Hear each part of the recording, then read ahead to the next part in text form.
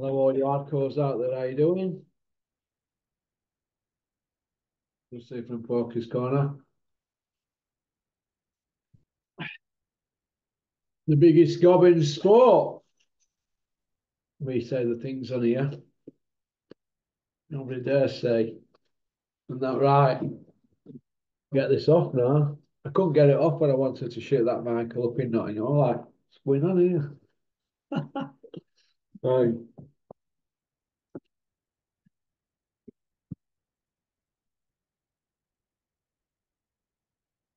Right.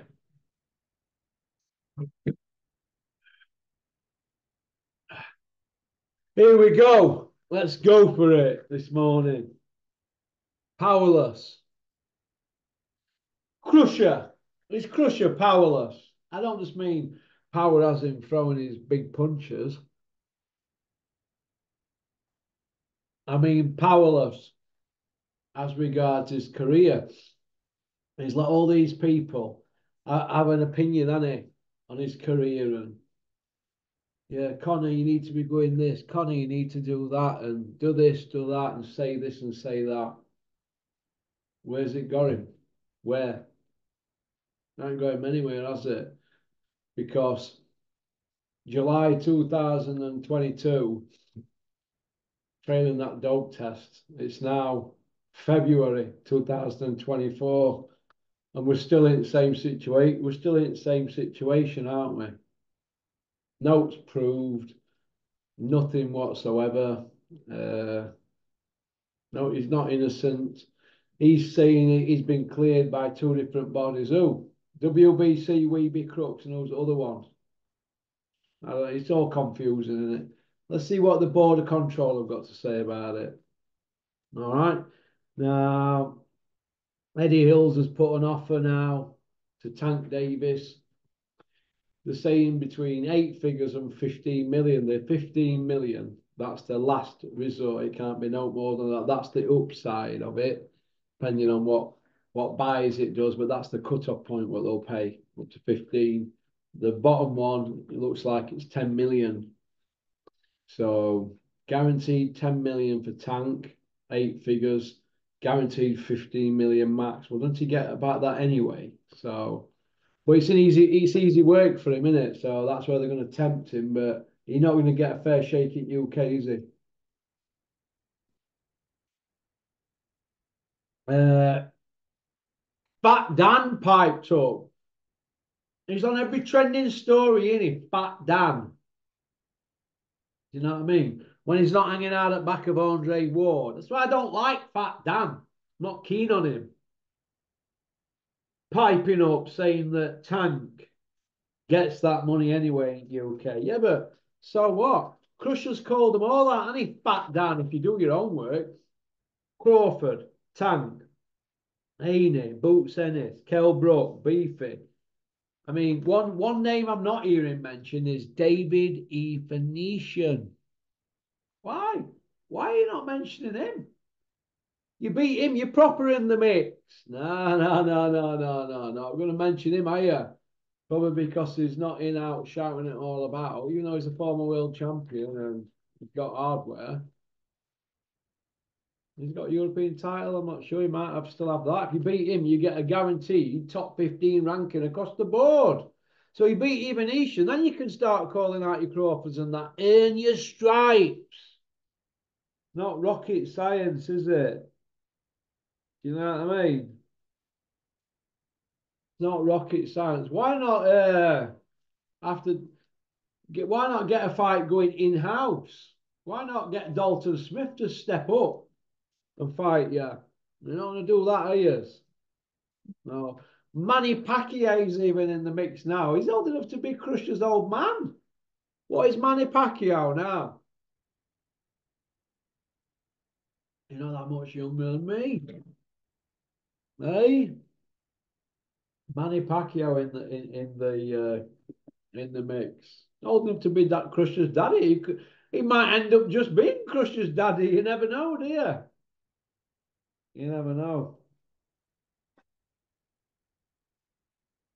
If you look at it, how how the skeptics are looking at it, and the people who well, not anti-matchroom, but are just no, I'm not having it.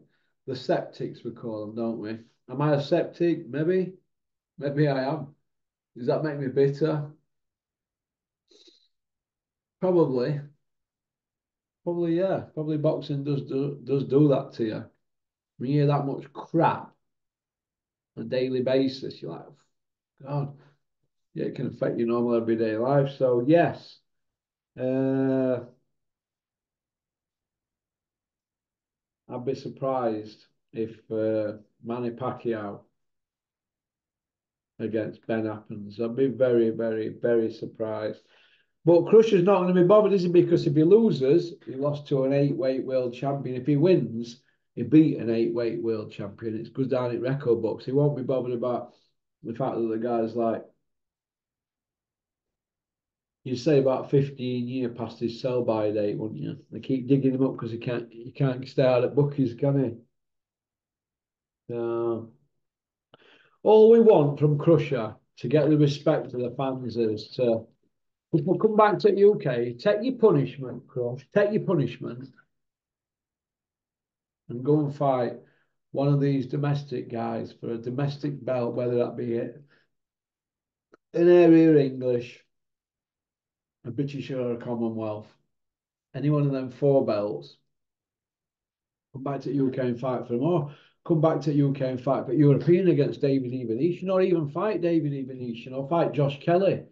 Just do something with somebody at domestic level from the UK instead of calling out all these roadmen because all you're going to do is get a good item but get paid. But why would you want to risk winning a fight that you've not earned? I don't get that, me. I don't get it. Eddie Hills was saying that Benn against Tank Davis would have to be at 147.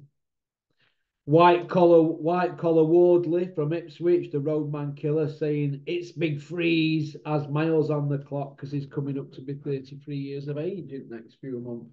Big Freeze, yeah, but he ain't got miles on clock as a pro, has he? Really? Well, I see where they're coming from. He's saying that Big Big Freeze has got miles on clock. Of course, he looks a bit weather worn, doesn't he, for his age, really? Maybe, maybe because they're training all the time up there at the EIS, it's not like being a pro. Maybe it's even harder. Who cares? But all we know is that Frazer Clarke's 34 next year. I mean, he's not had 10 fights yet. Canelo Munguia in talks. Who, who'd buy into that? Who'd buy into Canelo Munguia in talks? Would Big Joe Egan buy into it? Oh, that's Mike. Oh, big dummy. Uh, so no, I don't buy into that. I want to see Canelo against David Benavidez, not Munguia. Uh, the Munguia fights pony. We don't want it. We want Benavidez against Canelo. That's what we want. Canelo, stop ducking. I don't believe Fury is a coward. I agree with what people are saying online. I don't believe he's scared of Usyk. I just believe he wants it on all on his terms, money wise, ring size, glove choice, who's coming out first or second, whatever. He wants to be A side. Let him have it just to get the fight on. I think his Fury's scared. I don't think he's scared of Usyk. I personally think he's just scared of the fact that it's not a guaranteed win for him, is it? No. Ben Whittaker, what do you think to him, Porky? I don't like him. I hope he gets iced in his next fight or any fight that he fights next. I want to see him get iced. He's not my cup of tea. All that showboating and that. I never liked that when Naz used to do that back in the day, but Naz won't doing that against Barrera, worry. So that's what you're going to see. But no, I don't like that. I think it uh, belittles fighters. So as far as I'm concerned, get him, get him put in with uh, Dan Azeez. If he's saying he can beat Dan Azeez and Buatsi now, well, Dan Azeez is just coming off a loss. Why don't you fight him and get somebody to put the proper money up? It's an in-house fight. Ben Whittaker, Dan Azeez. Why not? Get it made, Ben Shalom. You'll never look back if you make that fight. That's your ticket into the big time if you put Ben Whittaker in with Dan Azeez. Because if he beats him, then you can start calling out the big names and the big Saudi money, can't you, Ben? You'll get your ticket to Saudi. That's what I'd do if I were in charge of that situation or I had a say in it. I'd say, well, roll the dice. You've got an Olympic medalist here, the kid who everybody doesn't like at the moment because he's rubbing everybody up the wrong way, like James DeGale did. Roll the dice and go for it. Let's see Ben Whittaker in a fight. I don't want to see all this uh, showboating and ridiculing uh, waste men, bin men, journeyman. I want to see him in with somebody who's got some pedigree. British Commonwealth European champion Dan Azeez. Only got one loss on his record. Put Dan Azeez in with Ben Whittaker if you're not going to put him in with Buatsi again, because really he needs a rematch, doesn't he? We've seen rematches for a lot less, haven't we? Now, if Eddie Hills had been involved with this show, all we'd be getting now on IFL, Boxing Social, Seconds Out, and all these other YouTubers, whatever it is, how that they feel that Dan Azeez were robbed and he should be getting a rematch because of Slipgate. Eddie would go into full Eddie Hills mode, wouldn't he? So why aren't you doing this, Ben Shalom, for your guy, Dan Azeez? So as far as I'm concerned, he's rematch or throw Dan Azeez under the bus. Just get, just look after yourself, but don't tell him that. Get him thrown under the bus. That's what you'll be thinking, because it will cross your mind. If we put Dan in with Ben Whittaker, do you think we're throwing him under a bus? Dan would feel, why put him in with him? That's how he'd feel. But the pride in him would want to fight him and get stuck into Ben Whittaker. But if he lost, he'd be thrown under a bus. And there is a pecking order. But why not? We're in we're in the, the game of making fights, aren't we?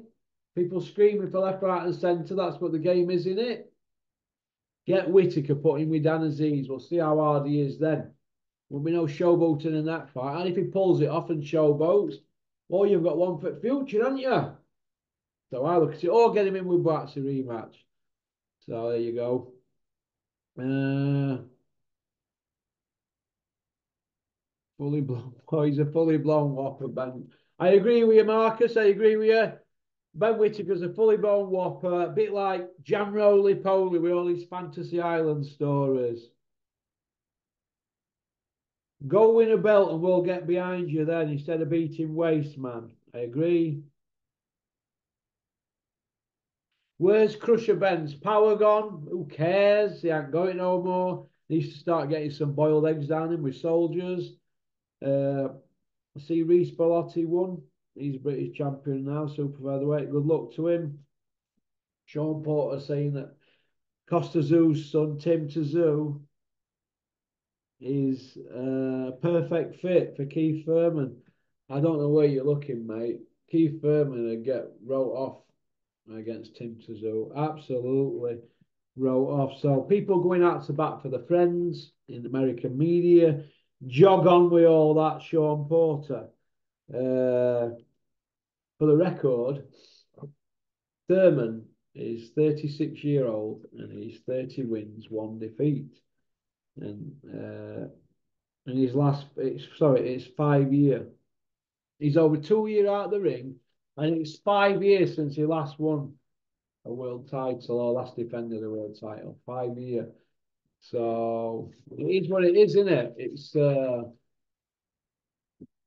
so Thurman's five years since he were dining at the top table, and two years since he actually dined at the table, and they're putting him in with Tim Tszyu at a weight that he's never fought at before, a higher weight. But Tim Tszyu's tailor made for uh, hmm, for Keith Thurman. Well said, Sean Porter. You weapon, you absolute weapon going into bat for your pal. Trying to get people to buy into that fight. It's a load of old tosh. Get your money on Tim Tszyu to win. Straight win. Don't go for a knockout.